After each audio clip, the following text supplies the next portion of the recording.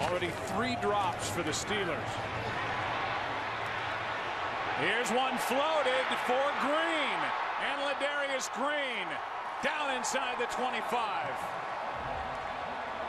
There is nobody better when a play breaks down than Ben Roethlisberger. Ben protected. Pass is caught for a first down by Ladarius Green, a gain of nine. Is third and eight. Roethlisberger throws, and the pass is caught for a first down. Ladarius Green with a terrific catch, and it looked like Dominique Rodgers-Cromartie was right there. Roethlisberger hangs in and finds Green. He stays on his feet.